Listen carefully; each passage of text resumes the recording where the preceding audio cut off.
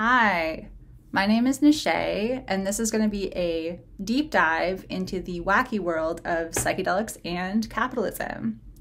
It's somewhat a reaction to some videos I've seen recently put out by Rebel Wisdom, which is one of the only cultural hubs affiliated with the psychedelic community um, that is putting out regular content online right now.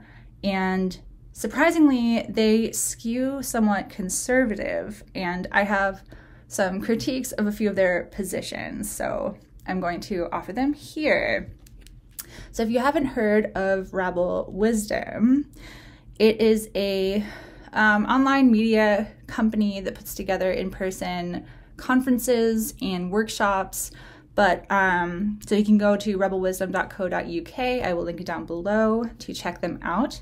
And according to their vision, they say, in these times of change, we can no longer trust the traditional media to make sense of the world. The old gatekeepers are losing their power. A new counterculture is filling the void, driven by a great intellectual awakening. Facilitated by new technology, it's made a new kind of conversation possible, more in depth, more open, and more democratic. Rebel Wisdom is a media platform founded by BBC and Channel 4 filmmaker David Fuller and co founded by writer Alexander Beiner. And centered on the conviction that we are seeing a civilizational level crisis of ideas as the old operating system breaks down. The new is struggling to emerge, and the most transformative ideas always show up first as rebellious. So, I actually originally came across Rebel Wisdom because I was looking for some interesting left leaning critiques of Jordan Peterson because I was seeing that a lot of the coverage of him was being very simplistic and that he was introducing some really inter- exploring some really interesting ideas and I wasn't seeing a lot of nuanced critique of him and I found a really interesting conversation about Jordan Peterson some, some years ago now um, by the folks at Rebel Wisdom. And um, I kind of fell out of watching them re- until recently when I came across um, they had an online post COVID Rebel Wisdom festival of ideas with a bunch of different speakers. So the speech that really kicked off my interest in responding was a conversation between Douglas Rushkoff, who is a um, countercultural thinker and kind of technologist, futurist speculator, really interesting guy with a range of ideas. And he was speaking with Jamie Wheal. I'll just go ahead and read his bio, which is listed with his uh, talent speaking agency website. So it says uh, his bio, he's the author of the global bestseller and Pulitzer Prize nominated Stealing Fire How Silicon Valley, Navy SEALs, and Maverick Scientists Are Revolutionizing the Way We Live and Work. He's also the founder of the Flow Genome Project, an international organization dedicated to the research and training of ultimate human performance. And Jamie makes a lot of his money working with top level athletes, but also capitalists, plutocrats, folks that have lots of money and are trying to become even richer. So he's an interesting figure because he's trying to use the insights offered by altered states of consciousness to empower capitalists to be better capitalists. And even on this talent uh, website where, with his bio, there's a quote from a senior partner at Goldman Sachs who says, Jamie blew us away our whole group has talked of nothing else this week. Some of the most provocative and disruptive idea- ideas I've heard in a long while. And that's exactly what we need more of here. Here being Goldman Sachs. So I just have to ask like, is Goldman Sachs the target audience for psychedelic insights? Certainly not for me and the other folks at Psymposia. And so I just wanted to kind of look more deeply about into this question of how you end up marshaling psychedelic insights in order to justify furthering the status quo. So I was listening to this conversation between Jamie and Doug Rushkoff, and I was I thought it was interesting that from my listening, it was as if they we're actually talking about very different ideas from uh, almost incompatible perspectives but you wouldn't really know it from watching them. They they nodded their heads and said, "Yeah, absolutely," and agreed with each other. So if you're like listening overhearing the conversation, you would assume that they were saying compatible similar things. But I've listened to the talk now a few times and I, I just don't come to that conclusion. And the, part of the reason I wanted to go into all of this is that Rebel Wisdom has this very big intellectual dark web interest. So the IDW, for those of you who don't know about it, is affiliated with folks like Jordan Peterson, but a range, a constellation really of different thinkers who ultimately mm, kind of were united around things like a, a hesitancy to be policed by social justice warriors and having a problem with like PC culture and feeling that it was limiting free speech and the free exchange of ideas. And so you can see why some of that vibe would be interesting to uh, folks who are also interested in psychedelics and, you know, kind of questioning established narratives about reality and perception and motivation and selfhood. But there are a lot of really status quo bolstering ideas in the IDW. And so this conversation offers a sneak peek into what the psychology of this sort of IDW slash psychedelic take on transforming culture is. So both Jamie and Doug present themselves as folks who were in the psychedelic community, adjacent to, connected to, before the psychedelic renaissance blew up in the mainstream in the past few years, and venture capital and all that fun stuff has been pouring into the space. Um, and Jamie has even done a separate talk, this was a year ago, published by Rebel Wisdom, called Is the Psychedelic Renaissance Doomed? As, speaking as someone who saw it kind of before it was cool and coming into this new mainstream space. So he's positioning himself as someone who is able to commentate on the state of things in the psychedelic community and the relationship between psychedelics and social change. I'm going to show some clips in a second, but for the meantime, both Doug and Jamie have really radically different views about the major barriers to initiating social change from within the psychedelic community.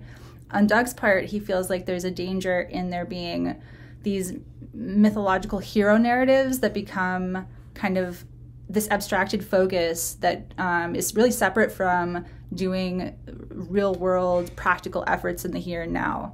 Whereas for Jamie, he believes, seems to believe from what he's been saying in a few of his talks, that there are some kind of very privileged folks switched on psychedelic people that are not able to work together because of weird game theory interpersonal dynamics. And so he's interested in how to deconstruct those dynamics um, such that these kind of psychedelic superheroes can work and gel better together and implement their ideas in the world in a practical way.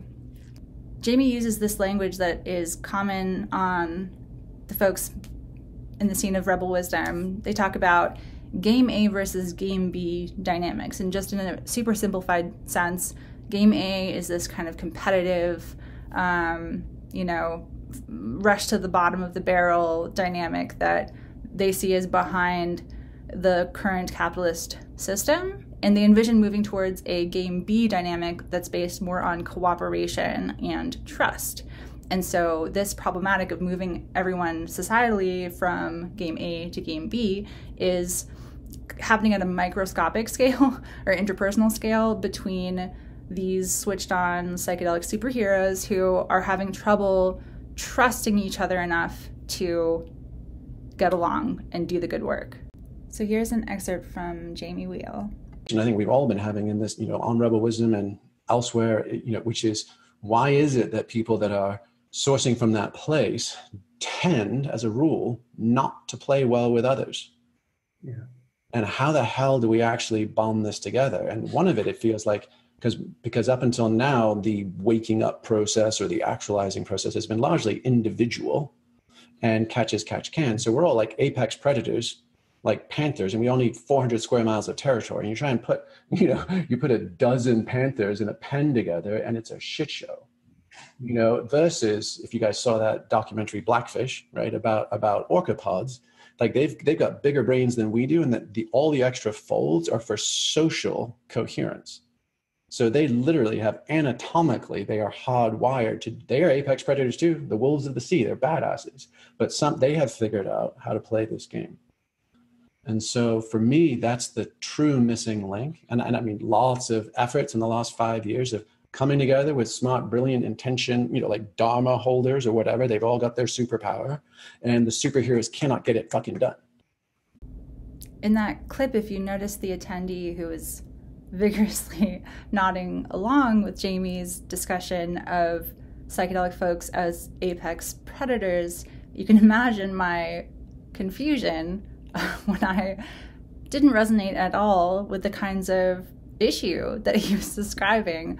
My experience working with Psymposia has been actually the complete opposite of the game theory dynamics that he's saying are universal amongst these switched on psychedelic leader types and it made me want to look more into like who are these people that he's actually describing am i crazy to think that this isn't universal like why does everyone seem to think this is normal and i started getting some insights as I kept watching. What I've been noticing, particularly around communities of practice that are thinking of these kinds of things and are trying to explore their way into collective coherence and ways for us to play better together, is there's this consistent and sort of I don't know what you'd call it sad, frustrating, concerning, but it's a it's a pattern that seems to come up, which is that folks are uh, discussing these ideas and concepts.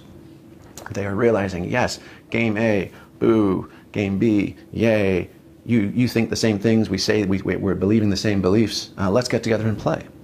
And there is often an initial spike of enthusiasm, excitement, uh, feeling met, um, and a sense of, holy shit, maybe this is how we get this done, right? Collaboration. And then we get to this place where we find our nominal allies, our nominal conspirators, those who breathe together. And there's often a spike of optimism, euphoria, possibility. And then we get to this stutter step where it's like, wait a second, if we're really going to do this post egoic thing, if we're really going to dump all of our puzzle pieces out that we've been carrying so carefully, right, and mix them all in together, and holy shit, maybe there's even a bigger picture that none of us had, but our puzzle pieces fit together beautifully. Um, wait, wait a second, uh, am I sure? and we see somebody do something that we're like, I'm not a thousand percent sure that was quite right. We see money, power, influence, control. What do we do on Monday morning, right? Who gets the credit? Who strokes the check, right? Who gets the likes? Who gets the post? You know, who gets the funding? Who gets the peer-reviewed rights? Whose name is on the pa- on the top of the paper or the book? And suddenly we go back down into the inevitable substrate of game A. Oh, there's always something about those folks that seems like they're on the inside of the secret. And we're drawn to them. We seek them out. We, we, that's who we feel we want to be with and our people are with. So we find each other and we say, Ah, I see your light. Hail, fellow, well met. Right? Um, and we're drawn to that.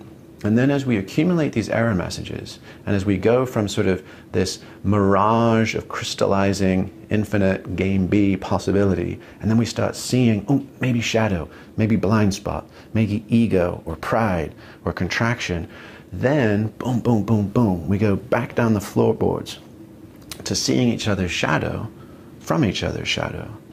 If somebody's saying, I'm not convinced we're in it for the same reasons. I'm not convinced that person isn't covertly playing game A dynamics, rivalrous dynamics with game B lip service, effectively the, the covert sociopath. Then I can trust that when I transgress, I will acknowledge it. You don't have to be vigilant. We don't have to be down in that level of you holding onto your shadow, right? Watching out for mine because you trust having been trained in the school of hard knocks rather than Jamie's flow dojo, I'm acutely aware of the presence of narcissists in society and the ways that personality dynamics can sometimes be really problematic and toxic.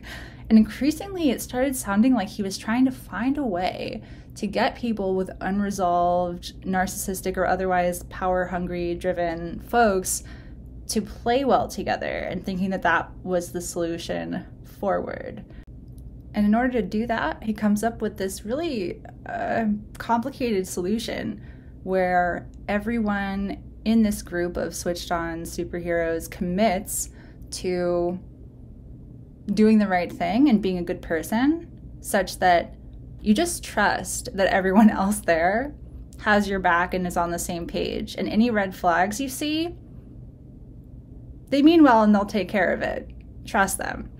And I'm just not sure about this code of ethics being a way to operate society, whether it's corporations or individuals. And my instinct was definitely if you're seeing red flags in folks, maybe those people actually have some chip on their shoulder or thing that they're trying to get ahead with. And maybe those are signs that you should red flags, you know, look out for and not just plow ahead, rush ahead with these people.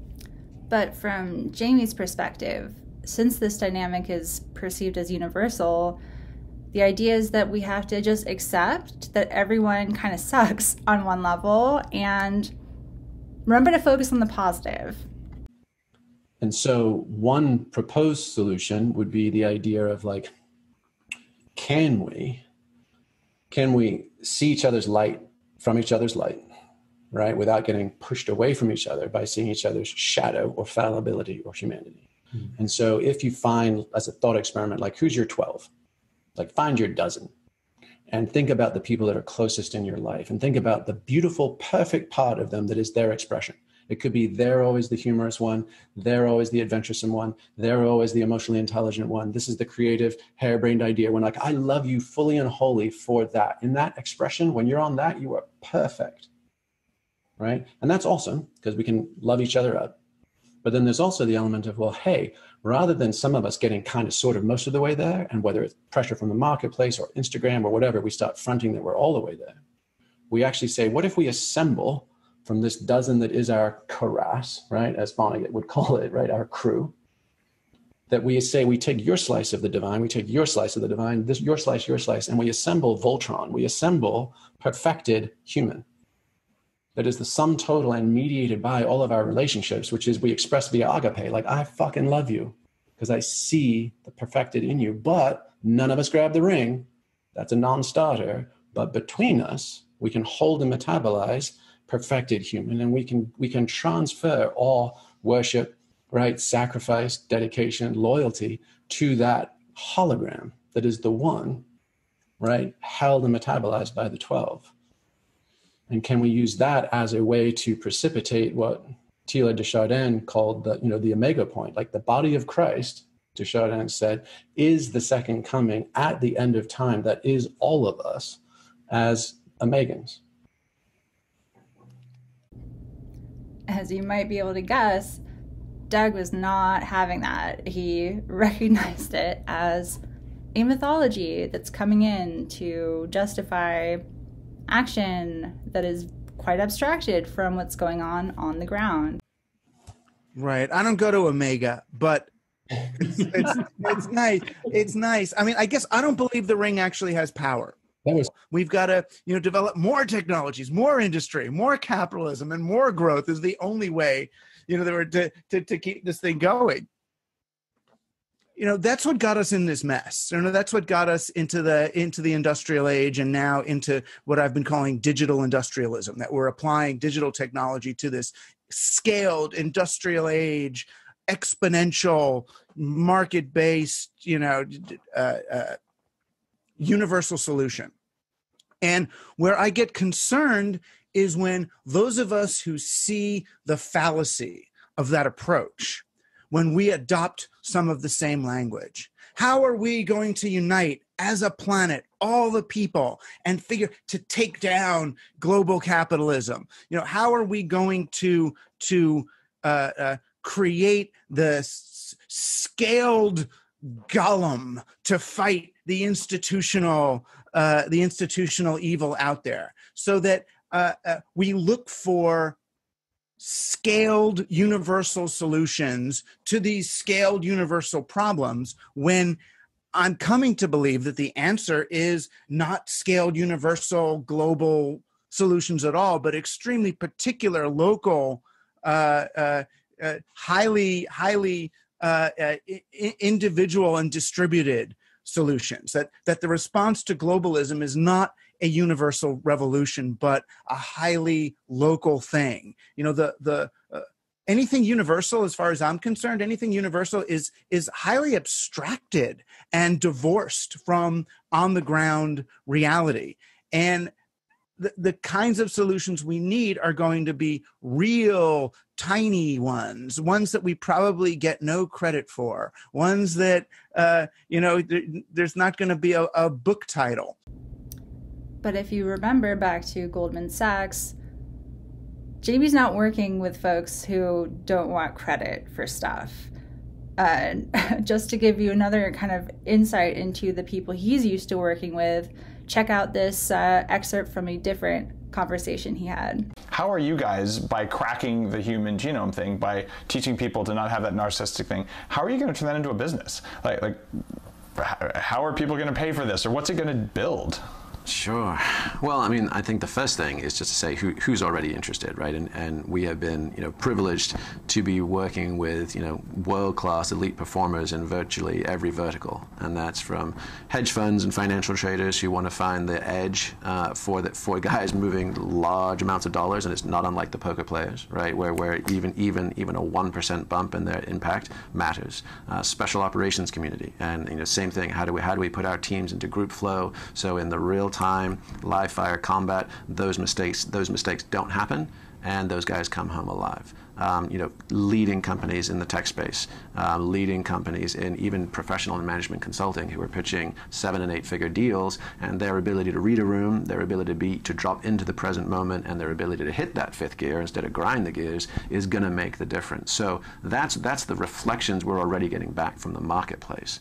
Um, that, they, that basically anybody who is already invested in top 10% talent or even top 1% talent um, is desperate to stay ahead and, and wants to use these these techniques to train and uplevel their people for us as an organization, it's kind of a three step model. So, what the Flow Dojo represents is it's the world's first research and training center for optimal human performance. And once built, what that allows us to do is A, train elite high performers, right? So anybody who's interested in, in becoming, you know, taking their top top 10% and making the top 1% or beyond, um, that's what we'll be offering. So high-end, deeply immersive, high-impact trainings, right? So that's step one as we're doing that, we're gathering data. So what happens with most academic research projects is a couple of fail points. One is they're kind of limited in their sample size, so they have to coax and cajole undergrads and, and you know and, and dirt poor graduate students to come through, you know, one at a time, ten at a time, et cetera. And uh, you know their sample sizes end up relatively small versus what could we do with large scale impacts. And the other is, you know, they scrounge together their research money. They're usually doing it in some dank, you know, academic basement. That their their tools and their technologies are really limited. They're probably you know put together with baling wire and duct tape.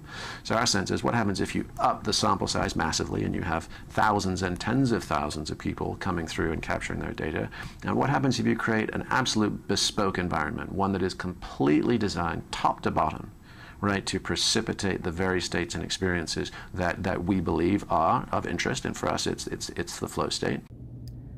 Following this train of thought and these conversations Jamie's been having, I thought to myself, there must be some, you know, group of psychedelic superheroes that he is referring to. You know, there's specific people that are having trouble getting the thing done. And who are they? And I found them. It turned out that Jamie was talking about rich people. In a Forbes article from 2017, he says, Everywhere we went, speaking and presenting to leaders and their high performing organizations at events and conferences, it seemed like thousands of people were all having the same conversation at the intersection of state changing tech and performance and innovation. From TED to Davos to Burning Man to Necker Island to the UN, these same influencers were making the rounds on a global circuit and using shared ecstatic experience to forge connections, build companies, and launch social movements. And this makes sense considering who Jamie's used to working with. Take a look at this bio, for instance. Mr. Wheal has advised members of the United States Navy Special Operations, top ranked athletes and executives of technology companies on optimizing performance through flow, receiving six figure fees for some of his consultations. His five day retreat at a sprawling, privately held property known as Summit and convened the day before the solar eclipse cost almost $5,000. Attendees were housed in white teepee like tents with portable toilets set up down a dirt path. The camp had been erected quickly by the glamping company Ether Camp to Mr. Wheal's specifications. Rich folks. So I followed the thread to Davos, which is how I discovered Lucian Tarnowski. And I'll share a bit of his blog post uh, about Davos. He writes The week before the World Economic Forum's annual meeting, Civana, which is his new organization, hosted a salon for 20 Davos attendees in order to come up with a further list of potential golden memes. I then asked and received a great deal of feedback from my community. Through this process, I was able to fine tune the list into what I called the 10 golden memes. A special mention goes to Jamie Wheal, author of Stealing Fire and creator of the Flow Genome Project, for his invaluable feedback on how to package a meme for maximum impact. And then a bit further down, describing the actual time at Davos, he writes Last Wednesday, we then hosted a party called Remember 2030 in Davos Block Base and had over 500 people register. It was a full house all night, and we had the largest cacao ceremony in the 50 year history of Davos. We invited guests to attend as their best projected future selves in 2030, having achieved the Sustainable Development Goals. We invited them to celebrate the completion of the Golden Decade and the new planetary civilization. These included people such as Rick Doblin, the founder of MAPS, or the Multidisciplinary Association for Psychedelic Studies, and then he includes a quote from Tim Wu writing about the event. At an event entitled 2030, Lucian Tarnowski and his cohort predicted a new golden age of human thriving, following various radical changes, such as the overcoming of material wants and broader use of psychedelics for mental or for emotional health. And in an official nod to the revolutionary spirit, the World Economic Forum itself, the institution which runs the show, released a new Davos Manifesto for the Fourth Industrial Revolution. So the folks at the top of the current economic system are going to be trying to radically transform that system. So we'll take a look now at a few clips of Lucian presenting his ideas, and then I will question some of those. so, what is new at Brave New? So, it's been a good year. Uh, we're taking on a number of new clients and we're powering knowledge sharing communities for organizations now like um, um, Lockheed Martin, Genentech, Mercer, GE, mm-hmm. companies like that, and foundations, are really helping activate collective intelligence. So, helping people be smarter, sharing knowledge more effectively, and creating these really powerful communities for change. So, tell me, how does that, do you see that we've seen people acting in the interest of the collective here in Davos? You've been coming for a while. So, this is a really interesting point. It's, it's my ninth year here, and I think um, I like to think of an Einstein quote uh, where he said, um, No problem can be solved with the same level of consciousness that created it.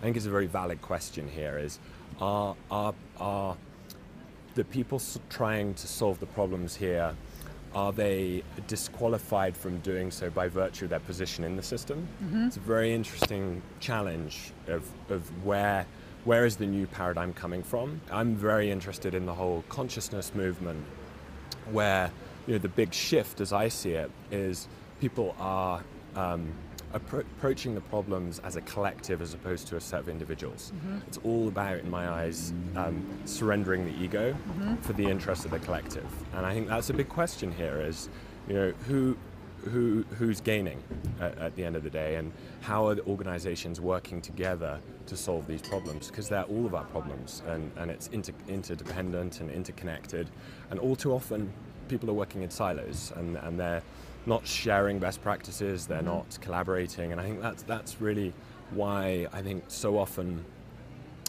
we're tweaking the problems rather than actually fundamentally shifting them so once you have a model, you can scale that model to any global challenge. And so our thinking is let's get started in the area we know, but let's have a let's have a, a playbook that we can just repeat. Um, and think of it almost like a an X Prize meets World Economic Forum meets Hive Mind mm-hmm. is, is how we're thinking about it. This desire to be the saviors and find this scaled universal global solution is the very kind of impulse that um, Doug was critiquing in the Rebel Wisdom conversation. Rather than just doing something, they want to create the website that aggregates all the people who are then doing that thing, or the website that aggregates the websites that are aggregating. Everyone wants to, you know, become the thing. And I understand if you don't have the million people on Twitter saying, "Yeah, it feels like it hasn't happened," but that's such a um, that's such a, a, a silly road to go down. You know, it's yeah. it's it, it and it, it's so much easier to find gratification and and to see the the results of what you're doing when it's the you know the smile on the kid that you've taught to read or you know the the the the land that you've replenished. You know it's just it's so much there there's so much real work to be done. Lucian definitely didn't make his personal fortune by teaching kids to read or replenishing land. He comes from the European aristocracy and his organization Brave New and Brave New Talent arguably aim to facilitate the kind of contingent workforce that disempowers people from being able to live stable lives, let alone organize for systemic change. For example, take a, a look at this post from recruitingunblog.wordpress.com. The author writes There's a new world of work coming there's no doubt that work is moving to the contingent model, with people bringing in skills for the short term, completing projects, and moving on. Jobs have changed, and so have their requirements. The skills an employer needs now, they won't need in the future. The shift to the knowledge sector has created a recruiting problem. The difference between a contingent workforce and a permanent workforce is that new hires need all the skills required in the job now rather than the potential to develop in the future. There's also less concern for long term fit. Work is temporary and immediate. This changes the requirements on both sides. Hiring will become less about fit, potential, and experience, and more about current capability. Yesterday, I got to take a look at the new developments on community platform Brave New Talent and to talk about where the product is going. I knew it had taken a few years for the platform to take shape, but last year's investment has seen founder Lucian Tarnowski going on a hiring spree, concentrating on developers and programmers to build in new functions. The useful bit in Brave New Talent is the matching of people and employers by skills within the contingent economy. They're about skills, skills communities, skills connections, and skills profiles, perfect for the new world of work having been featured as the lead story on TechCrunch on Friday. Following Tarnowski's talk at Davos, all eyes are on the platform to see what is coming next from the talented network. So, this is his background, and still, he feels like he is positioned to be the change. Lucian is, of course, the found now the founding curator of Civana, foundation and house. Yeah. So tell me first of all what's going on there. What are you doing? So it's been a big year. We um, we took on the um, very iconic house in San Francisco that was built by the creator of the Golden Gate Bridge. Hmm. And what we're doing there is we're prototyping what we kind of playfully call a planetary embassy. Mm-hmm. So it's all about bringing together what I love to call the transition team people right. that are really motivated and ready to show up around this systems change we're in, this kind mm-hmm. of civilizational crescendo. together. To do what? So ranges. A lot of it is um, starts with our own internal work. Mm-hmm. Um, by doing our personal transformation, I think we're mm-hmm. best prepared for our collective thriving. Mm-hmm. And so we do salons, we do immersions, we do dinners. We have a 60-person dining room table. Wow. Yeah. So so words are powerful. You know, words can either be swords or they can be spells. Mm. And, and language, I think, shapes our culture, it shapes our identity, it shapes who we are. Mm-hmm. And so what we thought this year was to try and experiment to ask um, you know, the three and a half thousand people that are on all the social channels here in Davos to start spreading these positive ideas about the future. Mm. 10 golden memes. Um, most people have a really um, negative view of the future. You know, mm. to, to, quote the Edelman Trust, Trust Barometer, Barometer last year, uh, that is a global survey and it showed that four out of five people believe the current system's broken. And so what we're doing is we, we, we looked at history and we were like, whenever there were these times of change, mm. people would organize into trusted groups where they had to make oaths on their honor for their life. Mm. You know, that you had the Knights Templar, you had the Masons, and albeit these were power structures of the time, but these were groups that met regularly in person. And so, what we're doing with Civana House and then supporting digitally is gathering together people locally in the Bay Area to test this to say what what would it look like to bring people into a civic oath, mm-hmm. into a deep trusted bond, like a brotherhood, sisterhood with each other? Mm. Um, and from there, can we establish the trust and the collective intelligence that would allow us to become our best selves, our, our reach our collective potential? And we think these pla- this like idea of a planetary embassy it's kind of obvious that we should have the equivalent of like Masonic lodges right. in every major city in the world that brings the smartest, the most committed people, those noble of heart, together around the oldest technology there is, the dining room table, mm. to, to say, how do we tackle, how do we deliver on the promise of this golden decade? All right. So, are you looking for partners in other cities? What are you looking for? Right now, so I, I, I would say 2020 is the year of hindsight. Mm-hmm. So, we're doing lots of experiments. We kind mm-hmm. of think of this space as an immersive experience game. Mm-hmm. So, Ram Dass talked about this. When you step over the threshold into the space, it's a 7,000 square foot space. When you step over that threshold, there's new game rules. And what we're doing is we're experimenting with those game rules and trying to establish the culture and once we've got that established, we really think we can roll these out as a membership alliance, mm-hmm. as like a global alliance mm-hmm. of people deeply committed to social change around mm-hmm. the world. Um, in cities around the world, I think we can partner with city mayors, we can mm-hmm. partner with um, all sorts of companies that want to be part of the solution, not the mm-hmm. problem, you know, because it's like transformative innovation is what we've got to be doing. So join the Rebel Alliance at Civana Foundation, use the memes, and I look forward to seeing you again all throughout this golden decade, Lucian. Thanks Thank very much. Due to COVID, some of the Civana House salons have moved online, and I was able to see a sample salon that happened a few weeks ago um, where the participants were aiming to create a unanimous charter that for social change that everyone could kind of get behind and to, to fuel this movement of solidarity. But again, a lot of the people there were entrepreneurs. So I'm just going to first show a clip of the dynamic because I find it, I found it very conspicuous the ways that the the call was actually not a sort of round table experience where everybody was equally democratically um, active. We had Lucian, who is definitely taking on this like leader role in the call. And ram who i was not another person i was not familiar with before listening to this but it was very much led by those figures.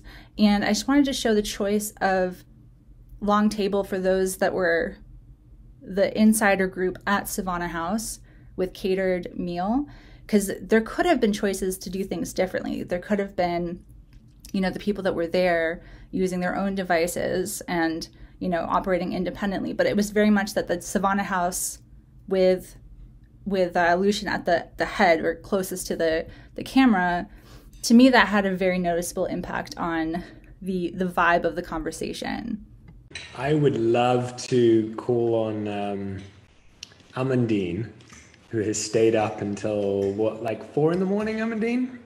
Hi, Lucian. Hi, everybody. So good to see all of you again. Thank you so much, Amandine, for being here. Your commitment commitment to the effort is always noted.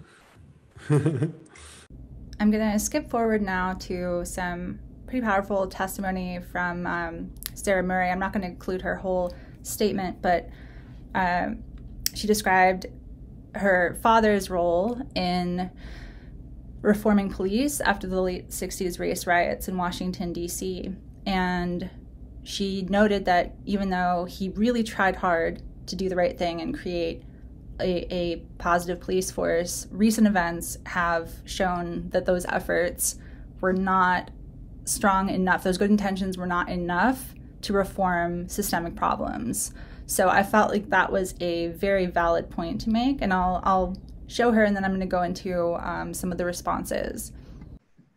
You know, the other thing that I want to say is that it's it's a great, and I and I say this with deep respect for Ram and everybody here. It's a great thing to write a manifesto about coming together, but in the life that we live in now in our complex society, the challenge that we all face is that we have to downshift from our own egos and our own roles and our own conceptions of ourselves into into being different people to be able to connect together in a different way in a simpler form of society.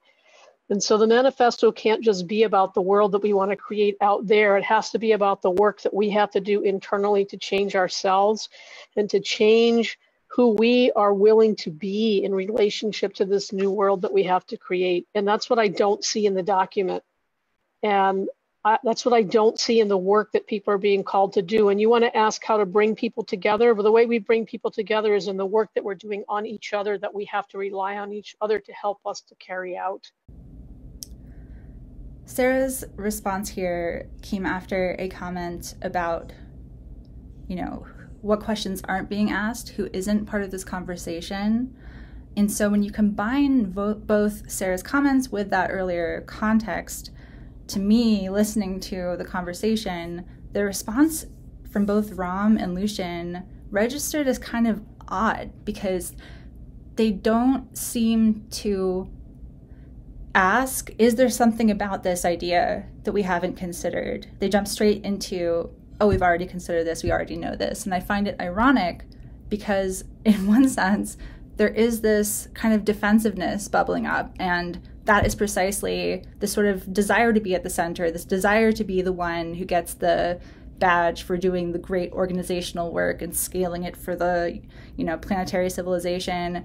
That desire is potentially part of the problem here. And so that's the piece that's being missed between this comment and the responses. And so that is my response with all the appreciation and gratitude for everything that's been done there's uh, one of the charters here says, we, the unified people of the earth, commit to doing our own self work, removing prejudices and attitudes that stem from a worldview of separation. We commit yeah. to these ancestral wounds individually and collectively, recognizing that this is the first step to creating a healthy society. So but, I would say I that's yeah, in, you may not have words or I, language. I don't think it's just about removing prejudice and biases towards others. I think it's about changing our own identities within ourselves. And I think that's a different task I think it's a very different task. So it's not out there. It, it's, you know, we have identities created within the complex societies in which we live, to which we're attached, and that give us our value. And we have to be willing to let go of those things.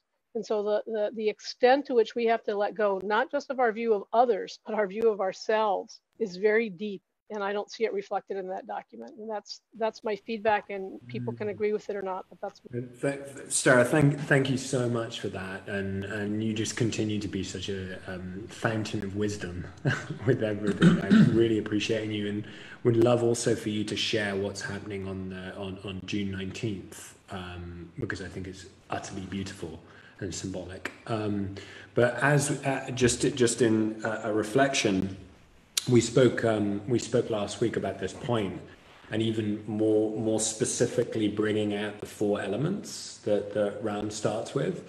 And the fifth element that, that I think we can create a whole meme around the fifth element and the fifth dimension as um, Amandine spoke to. Um, but the fifth element being community.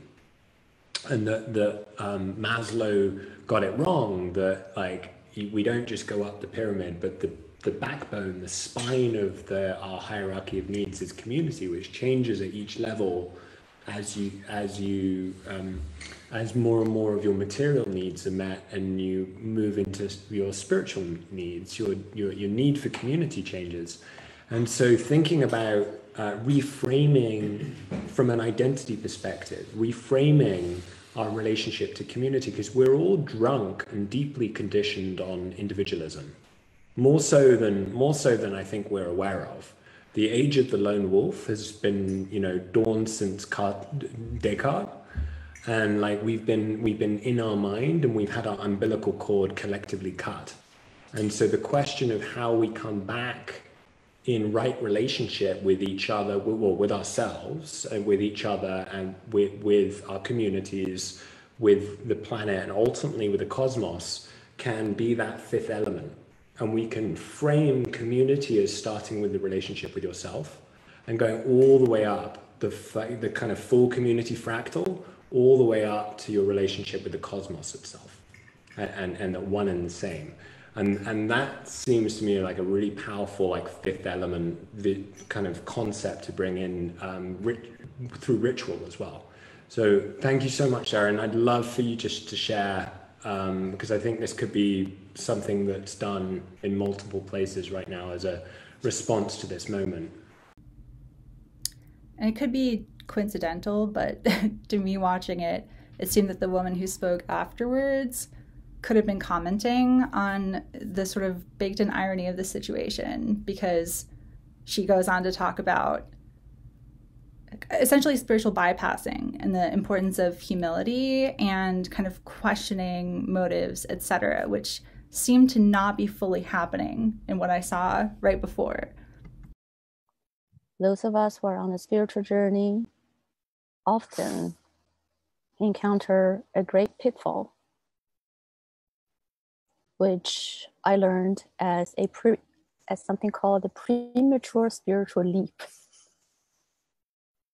By my own experience throughout the years, often that just when I'm at my highest level of connectedness, the new universe will show me something that would humble me, to show me the wounds that are still there. Thank you for that beautiful beautiful moment we all shared together.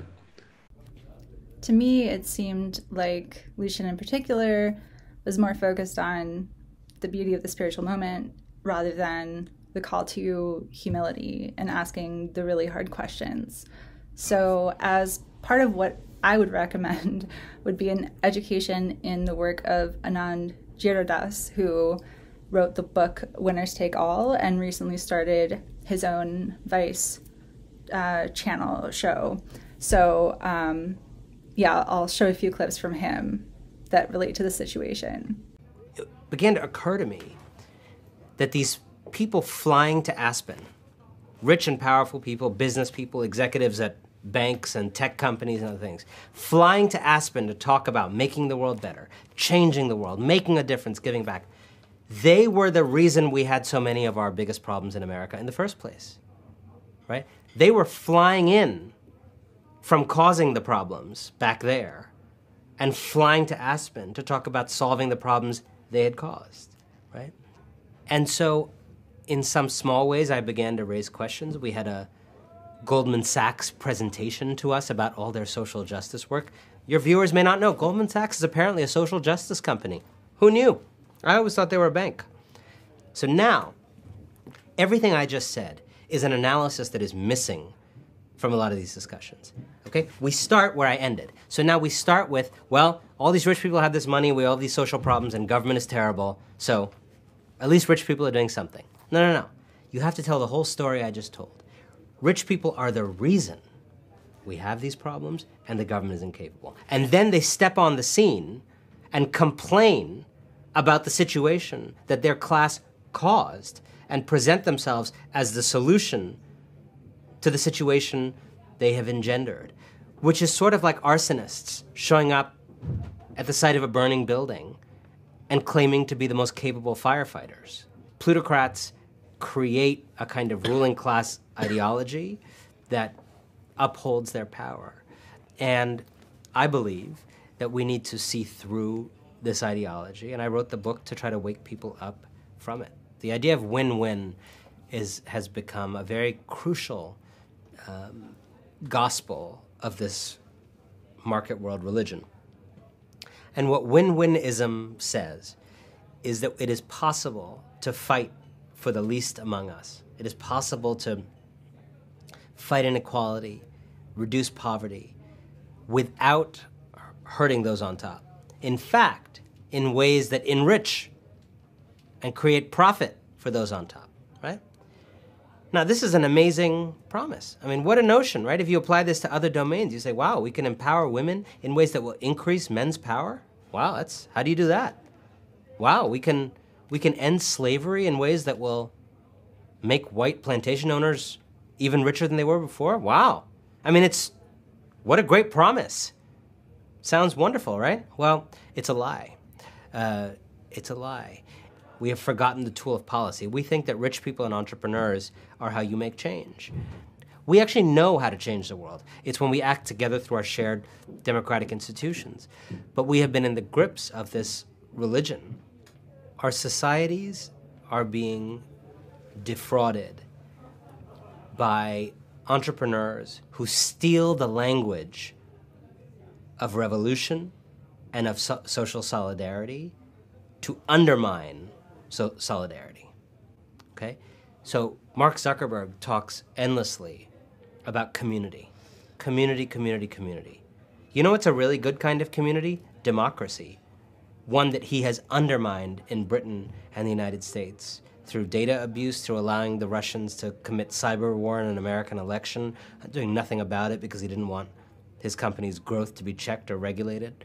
Um, Mark Zuckerberg doesn't belong on the cover of magazines. He belongs behind bars, in my view. I, I, don't understand how many people from my neighborhood in Brooklyn are in jail for smoking marijuana, and Mark Zuckerberg for selling out an entire American election is still running a big company. I, I just, I'm confused by it. If anybody, if anybody understands this, like text me. There's this big fantasy that came out of Davos and other things, the multi-stakeholder approach. Like let's business and government sit together and hash things out. Well, think about what this actually means. When you have multi-stakeholder approach, when you have these public-private partnerships, which are very fashionable now, you are creating a rich man's veto. A lot of rich people that I write about are happier to give $10 million to a foundation than to give $5 million in taxes. That's kind of interesting. So it's not entirely about keeping your money. A lot of them are giving away their money. So what's the difference? Why do they prefer philanthropy over taxation? And the reason has to do with credit and control. When you pay your taxes, you don't get credit. You're just complying with the law. When you do philanthropy, you get credit and control. Your name goes on the building, everybody knows you did it. It helps your reputation. If your pharmaceutical company killed people, if your chemical company poisoned someone's river, it helps your reputation because that was bad and now you're doing something good. Um, and you also get control, right? You get to decide. Let's give money to that school, not this school. Let's fund this program, not that program. And Credit and control are both things that rich people like. What the plutocrats has, have done is what every ruling class does throughout history, which is spin a set of ideas that justify their rule. You know, kings and queens did it in Europe. When you had kings and queens in power, suddenly you had philosophers talking about why kings and queens should be in power. When you had feudal lords in charge, you suddenly had some court philosophers talking about why feudal lords is the natural order of mankind according to the Bible. In our time, um, there has been this belief that that rich people can save us. So the reason I'm ultimately here today is right now I'm seeing a pretty self-enclosed ecosystem of psychedelic slash IDW thinkers that are essentially the court philosophers for this new kind of capitalist elite to be able to seize psychedelics as a way for changing society patting themselves on the back for for going in that direction and ultimately maintaining the power imbalances that underlie the status quo. And so I'm pretty shy. I don't really like to it's hard for me to speak publicly sometimes, but I feel like there needs to be some pushback because psychedelics can be a powerful tool in dismantling ideology and kind of helping people to see the way that things could be different. But right now, the loudest, most articulate, sincerest sounding voices are concerned with the well being of the powerful and the wealthy. And so I just wanted to push back on that and kind of raise some questions about and also point out that there is there are other communities out there who are not interested in some universal charter for everyone to come together, but who are looking to find the others, to find the people who care about dismantling systems of oppression. The wealthy elite, in the psychedelic sense, are ultimately running with a kind of narrative wherein their privileged position is justified because they are the most equipped to deal with the situation on the ground. But that that is a mythology. This idea that these people who got to where they are, not on the basis of any kind of particular talent, but because of where they came from, who they knew, who their parents were, the idea that somehow we need to buy into that those are the people who are going to be our saviors and that we can just come up with a better code of ethics for interpersonal relationships and for the operation of corporations to change things is something I fundamentally reject. So, if you're interested in these kinds of ideas and would like to see more, I recommend checking out Psymposia. I'll link to that. We have a podcast called Plus Three. And as a bunch of scrappy poor kids, we're ultimately running on the fumes of our passion. So if you do want to help us out, we have a Patreon that I will also link to below. So thanks so much. This is my first kind of foray into video essay type thing. I'm a now unemployed academic. If you enjoy this video, please give it a like and subscribe, and I hope to see you again.